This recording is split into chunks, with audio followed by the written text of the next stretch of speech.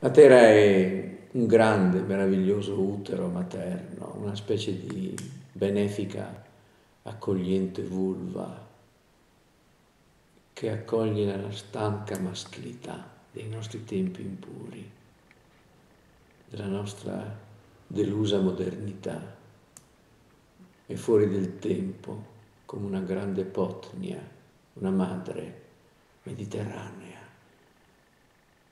Non è della civiltà patriarcale indoeuropea, sembra appartenere al pre-indoeuropeo, a qualcosa di molto arcaico, dove è l'elemento femminile che dà il senso a tutto.